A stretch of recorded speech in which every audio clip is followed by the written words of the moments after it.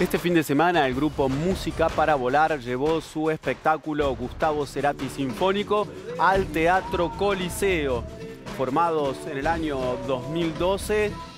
presentaron una selección de temas de la discografía tanto de Soda Stereo como de su etapa solista con arreglos originales para orquesta y luego de llevar este muy buen espectáculo a Rosario, Santa Fe, Córdoba, Mar del Plata, Bahía Blanca, llegó a Buenos Aires y así sonaban en el Teatro Coliseo.